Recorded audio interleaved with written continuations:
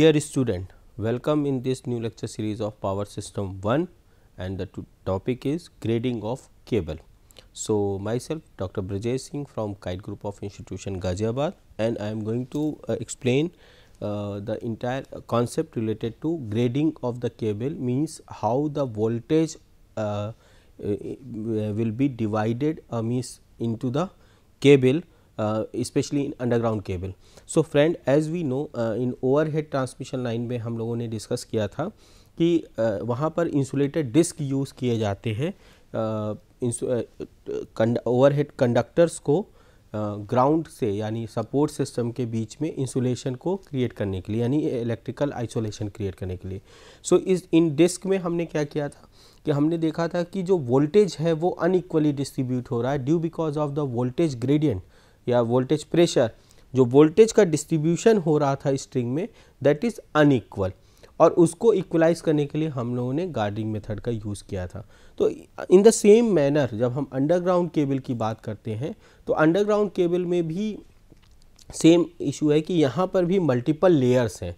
Means core conductor is placed at the core of the underground cable आपके core में होगा और उसके ऊपर फिर आपने इंसुलेशन देन सीथ देन आपने आर्मनिंग शीत के बाद बेडिंग कर रखी है आर्मनिंग कर रखी है, उसके बाद आपने सर्विंग मेथड लगा सर्विंग का लेयर लगा रखा है। तो there are multiple layer so the insulation offer from the core centre part to the upper surface that is varying that is not a constant तो उसकी वजह से जो वोल्टेज जो डायलैक्ट्रिक स्ट्रेंथ है स्ट्रेस है, या डायलैक्ट्रिक स्ट्रेंथ है इनर साइड रेडियल डायरेक्शन में वो डिफरेंट होगा। और उसकी वजह से जो क्या होगा वोल्टेज ड्रॉप होगा या वोल्टेज डिस्ट्रीब्यूशन होगा, पूरे इंसुलेशन लेयर में दैट इज़ डिफरेंट वन और इसी को हम ग्रेडिंग कहते हैं, यानी इसी के बेसिस पे ग्रेडिंग ऑफ़ कंडक्टर की बात करते हैं।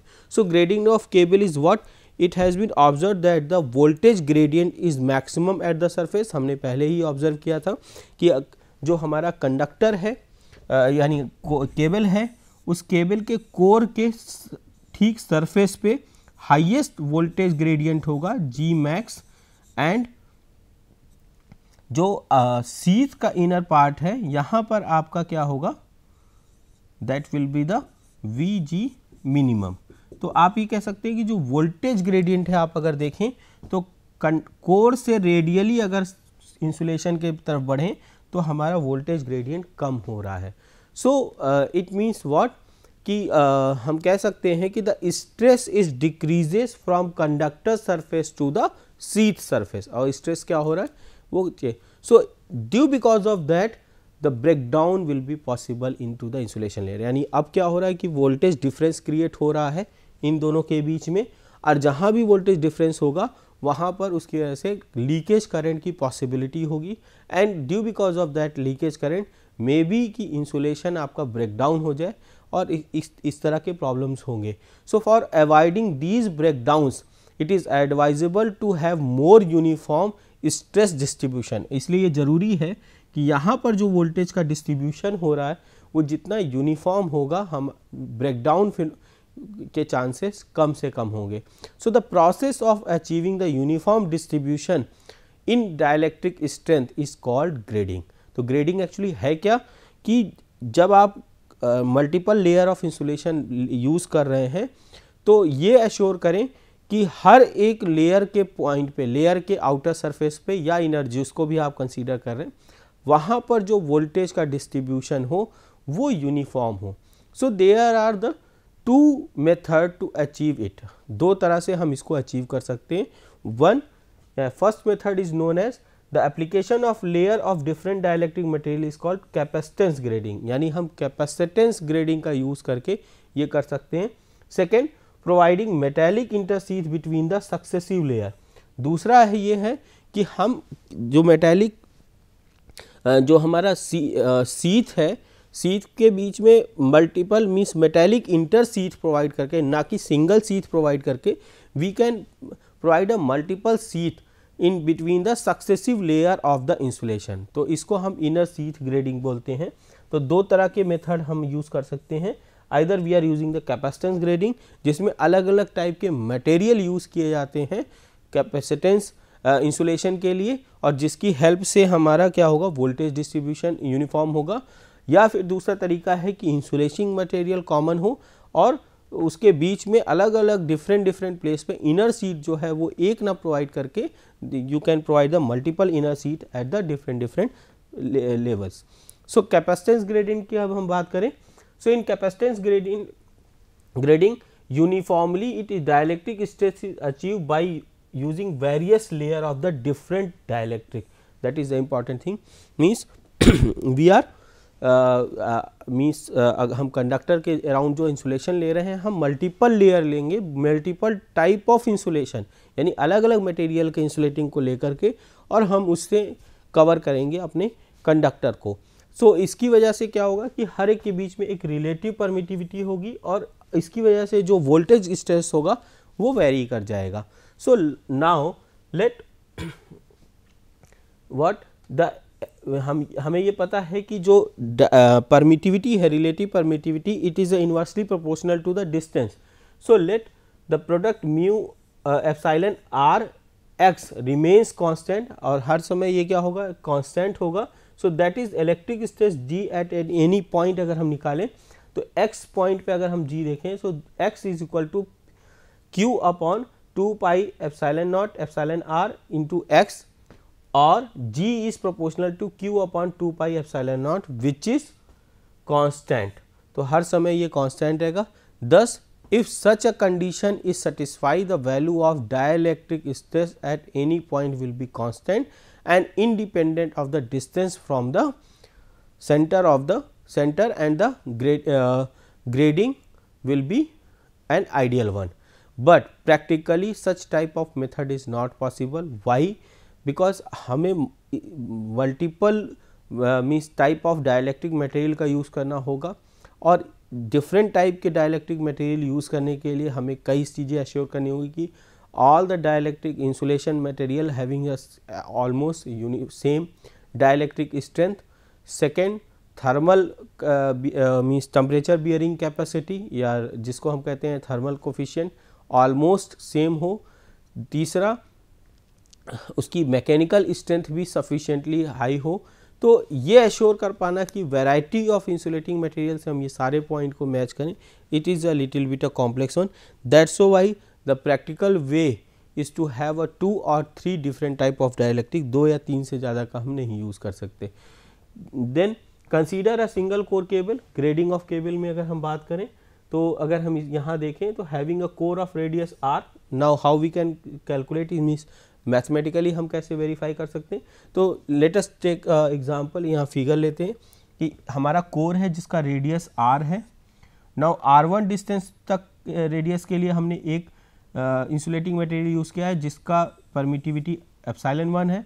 Then for R two epsilon two permittivity and for capital R that is epsilon three so so, हमने अलग अलग डाइलेक्ट्रिक मटेरियल यूज़ किया जिसकी की परमिटिविटी हमें मिल गई epsilon one two and three and there means radius की अगर हम बात करें that is R one R two and R three so X one will be G one Q upon two pi epsilon one X one where Q is the charge per metre axial length dielectric stress of the middle dielectric radius क्या होगा? X two क्या होगा? G two Q upon two pi epsilon two X two In the same manner x3 g3 is q upon 2 pi epsilon 3 x3. So, now the potential difference between the core and the inner dielectric.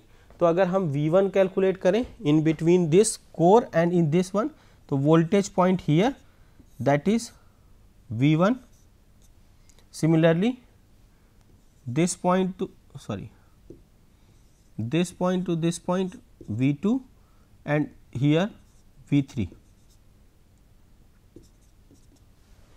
So, V 1, V 2, V 3 if we evaluate it. So, by the initial previous formula V 1 is equal to integration over R to R 1 q upon 2 pi epsilon 1 x 1 dx is equal to q upon 2 pi epsilon 1 ln R 1 by R. Similarly, for the V 2 and V 3. So, after evaluating the V 1, V 2, V 3 we can say that from this point 0 to here the total voltage is what V. So, V is equal to V 1 plus V2 plus V3. Now, put all the values here and revise the equation. So, you will get the total voltage V is what this one equation number 4 and the capacitance is what q upon V. So, now put it here q upon V and solve it equation number 5 represent the capacitance of the total capacitance of the your cable. So, dielectric stress is maximum at x 1 r x 2 x 1 and x 3 from x 1 and r. So, you can see here the total capacitance is this one and the voltage will be equalized. Now, in the same manner अगर हम maximum gradient की बात करें तो G 1 max is q upon 2 pi epsilon 1 r तो q upon 2 pi epsilon 1 r यहाँ पर हम वैल्यू को पुट करके सॉल्व करेंगे। One upon two pi epsilon R Q की वैल्यू हमने वहाँ से प्रीवियस इक्वेशन से ले ली। ठीक है? तो हमने इसके लिए भी देखा। सेम क्यू को हमने यहाँ पुट किया। And for Q three so G G one max G two max and G G three max we have evaluated all the gradient uh, uh, dielectric stress or the potential gradient at the different places x r1 r2 and r3 then we can see that the finally the value of g1 max g2 max, and g3 max is almost equal. ठीक है? सो इस तरह से हम कह सकते हैं तीनों पे हमारा मैक्सिमम ग्रेडियंट सेम होगा। So on the basis of that we can solve a one numerical problem let a cable has been insulated with the two insulating material permittivity given 4 and 2.5 and inner and outer diameter of cable is 2.2 centimeter and 7 centimeter. So, if the dielectric stress is 40 kilovolt per centimeter and 30 kilovolt per centimeter then calculate the radial thickness आपको radial thickness निकालना है इस uh, insulating material की. So, given data maximum permissible stress is given G1 max, G2 max is 30, diameter is given you can calculate the radius diameter of the sheath is given then the radius of the cable permittivity of two dielectric medium is given here. So, these are the given values. Now, let the diameter over the insulation of inner dielectric is d 1 centimeter. So, g 1 upon g 2 is what epsilon 2 d 1 upon epsilon 2 d.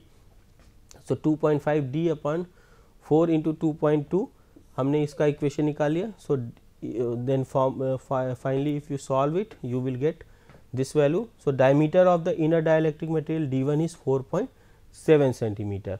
Radial thickness of the inner diameter is 4.7 minus 2.2 divided by 2 is 1.25 uh, centimeter. So, the radial thickness of outer dielectric is 7 minus 4.7 upon 2 is 1.15. Now, peak voltage अगर हम calculate करें so you can use this formula G1 max by 2 into d ln d 1 upon d plus g 2 max upon 2 into d 1 ln. So, d by d 1.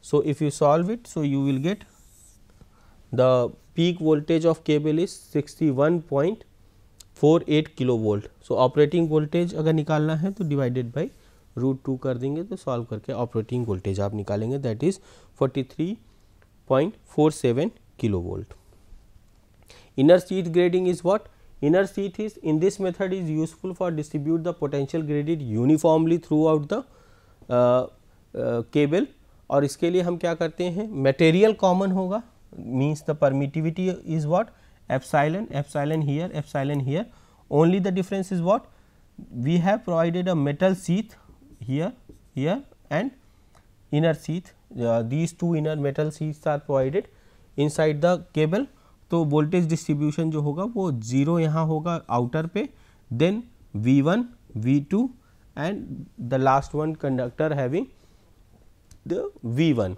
V sorry तो total we so इस तरह से inner चीज़ की वजह से जो क्या होगा वोल्टेज होगा, वो मेंटेन होगा यूनिफॉर्म वोल्टेज मेंटेन होगा.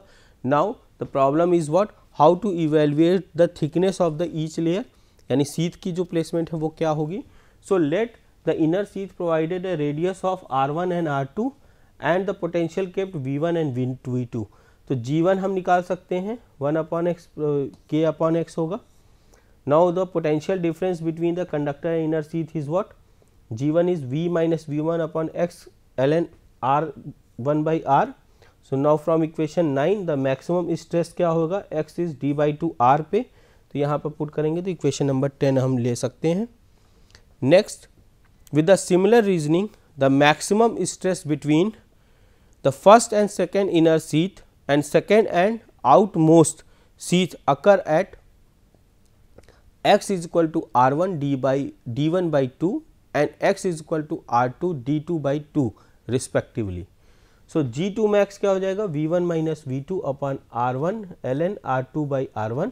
Now, G3 max is V2 upon R2 ln R by R2.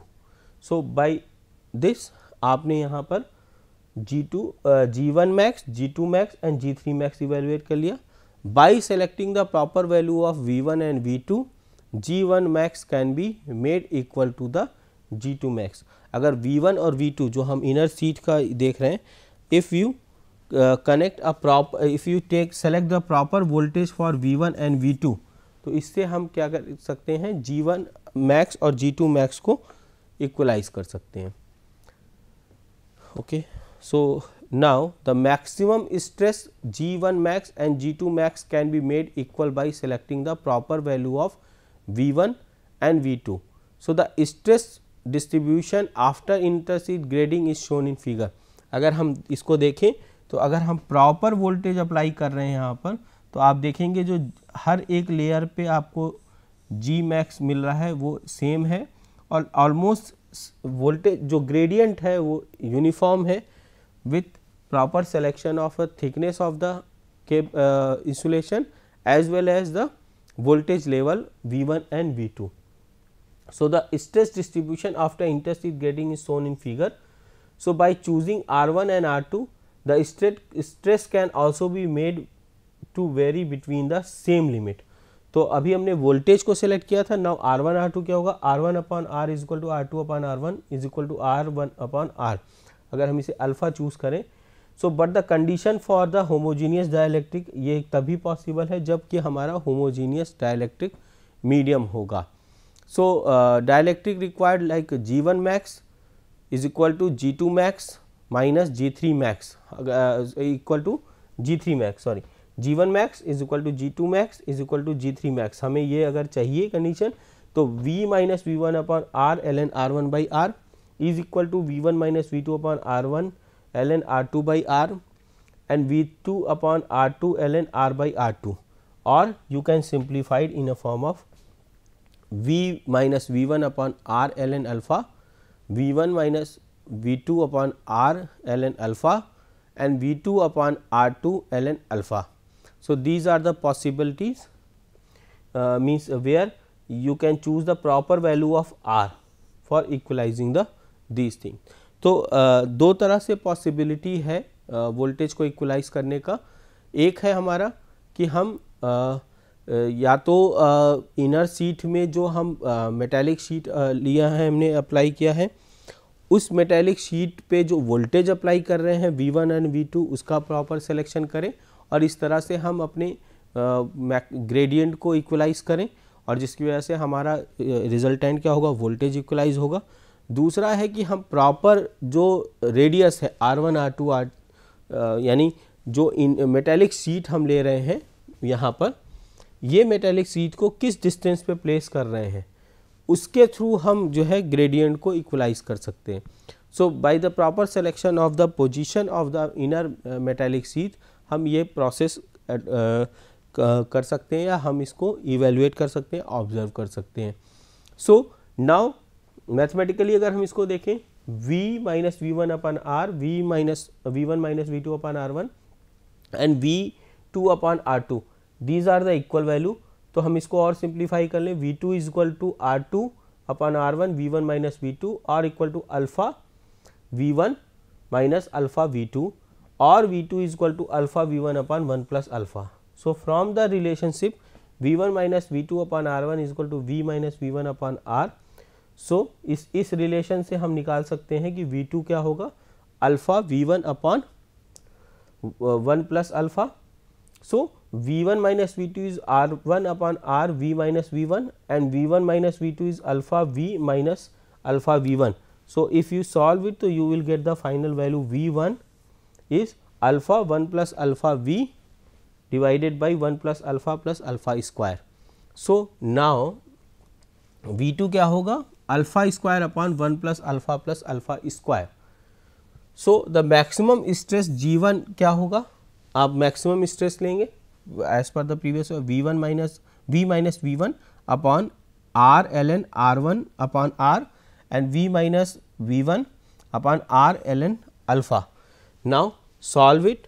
So, you will get the final value uh, uh, like equation number 15 that represents the maximum gradient on means at position 1 या कह लीजिए at the G1 यानी R1 पे आपका कितना gradient होगा. Similarly, R upon R is alpha cube and ln R by R is ln alpha cube is equal to three L N alpha so G one max यहाँ पर put करके अगर solve करेंगे। Now if you derive it तो you will get the equation number fifteen B so that is maximum gradient without using any inner sheath कोई भी inner sheath हम ना यूज़ करें तो V by R L N by R इस equation को हम यहाँ पर चेंज कर सकते हैं, अगर हमने कोई इनर सीट नहीं यूज़ की है। So from equation number fifteen A and B the value of the maximum gradient when inner sheaths are used in re is reduced to 3 by 1 plus alpha plus alpha square times the value of the maximum gradient without using inner sheath. So, that is the final conclusion and uh, on the basis of that we can see a one numerical problem uh, suppose a single core cable for 132 kilovolt three phase system uh, has conductor of radius 1.2 centimeter and inside sheath radius is 6 centimeter. So, it has also a inner sheath. So, inner sheaths are provided here. So, the stress varies between the maximum and minimum limit in the three layer of dielectric, the field and the radii of the inner sheath and their voltage. तो calculate क्या करना है find radi radi means radius of the inner sheath and their voltage. So, given data is what supply voltage 132 by root 3 यानी phase voltage में हमने convert कर लिया radius is given radius of sheath inside is given then since the maximum and minimum stress are same so r1 upon r is equal to r2 upon r is equal to r by r2 is alpha and r by r is alpha uh, alpha cube so, alpha is equal to 6 by 1.2 uh, power 1 by 3. So, is equal to 1.71. So, that is the value of alpha. The radii of the inner sheath is R 1 is alpha r put the value. So, inner radii is this one R 2 is alpha r 1 put the value this one is the value of R 2. So, potential of the first inner sheath is V 1 is equal to V alpha one plus alpha upon one plus alpha plus alpha square ये formula हम लोगों ने देखा था पहले इसमें put करके आप सॉल्व करके निकाल सकते हैं फ़र्स्ट इनर सीट पे जो वोल्टेज होगा वो होगा 62.68 kilo volt per phase and the potential at the second in sheath V two is equal to V upon alpha square one upon one plus alpha plus alpha square तो आप इसमें put करके solve करेंगे तो second पे आपको मिलेगा 39.5 kilo thirty nine 0.55 kilovolt per phase. So, these are the two numerical problem. Now, the practical aspects of the cable grading. Cable grading का अगर हम प्रैक्टिकल आस्पेक्ट की बात करें कि एक्चुअली जो हमारा ग्रेडिंग है, उसका प्रैक्टिकली क्या उसका यूज़ है? So the capacitance grading is difficult due to the non availability of required permittivity of the material जो हमारा मटेरियल है, ज़रूरी नहीं कि आप जिस रिक्वायर्ड परमिटिविटी का मटेरियल चाहते हैं, उसी परमिटिविटी वैल्यू का आपको इंसुलेटिंग मटेरियल मिले। सो कैपेसिटेंस ग्रेडिंग इसीलिए टफ है या कह सकते हैं कैपेसिटेंस ग्रेडिंग को हम प्रैक्टिकली यूज़ नहीं कर सकते। So most of the time in high voltage situation हम क्या यूज़ करते हैं? मोस्टली हम इनर सीथ मेथड को ही यूज़ करेंगे अगर देखते हैं। द यूज़ ऑफ़ रबर जिसका कि relative permittivity four to six है एंड इम्प्रेगनेंट पेपर जो कि relative permittivity three to four है जनरली हम यूज़ करते हैं कैपेसिटेंस अगर हम, क्योंकि रबर का भी हमको variety means wide range of permittivity मिलती है like from four to six और इम्प्रेगनेंट पेपर का हमको थ्री टू फोर मिलता है। But rubber is expensive rubber बहुत एक्सपेंसिव uh, भी है and the cost of dielectric become is too high तो अगर हम रबर का यूज़ करते हैं तो कॉस्ट हमारी बहुत हाई होगी। तो इसलिए ज़्यादातर हम देखें तो ऑलमोस्ट रबर की रेंज और इम्प्रेगनेंट पेपर में four to six and here this is three to four. तो इम्प्रेगनेंट पेपर या किसी अदर मटेरियल सिंथेटिक रबर्स का यूज़ किया जाता है instead of using the natural rubber and second another difficulty is possible change of permittivity within time और जो time के साथ अगर हम देखें तो परमिटिविटी uh, चेंज भी होती है। तो वो भी एक मेजर इशू होता है जब हम कैपेसिटेंस ग्रेडिंग अप्लाई करते हैं। So as a result this may completely change the voltage gradient distribution and may even lead to complete rupture of the cable dielectric material at the normal operating voltage तो ये कई बार क्या होता है कि आपका जो डायलैक्ट्रिक स्ट्रेंथ है वो वेरी कर रहा है, यानी पर रिलेटिव परमिटिविटी चेंज हो जा रही है। तो उसकी वजह से आपका जो इंसुलेटिंग मटेरियल है उसके रप्चर होने के चांसेस होते हैं और even though not only the abnormal situation in the normal voltage operation also. So, it is difficult to arrange a proper uh, means uh, uh, uh, so now it is very means tough to use the variety of insulating material for grading of the cable. दूसरी जगह हम क्या use कर रहे हैं inner sheath को but inner sheath having again some problem कि what will be the proper voltage level is required for inner seat. That is again a major challenge. So, there is a chance of damaging of inner seat during the laying the cable in case of inner sheath grading अगर हम inner sheath grading कर रहे हैं तो कई बार क्या होता है कि लेइंग के टाइम पे उनके डैमेज होने के चांसेस होते हैं। और अगर वो डैमेज होता है तो again it is a cause of unequal voltage distribution in the entire insulating insulation part of the underground cable तो और उसकी वजह से क्या होगा? चार्जिंग करंट हमारी बढ़ जाएगी। So that the charging current carries by the inner sheath में काज ओवर हीटिंग और जो चार्जिंग करंट फ्लो करेगी, वो कई बार हमारे लिए प्रॉब्लम क्रिएट करेगी कि उसकी वजह से हीट बढ़ेगा। So if you don't having a proper heat rejection technique और हीट हीट रिलीजिंग फिनोमिना तो आपके केबल के परमानेंट डैमेज होने के चांसेस बढ़ जाएँगे।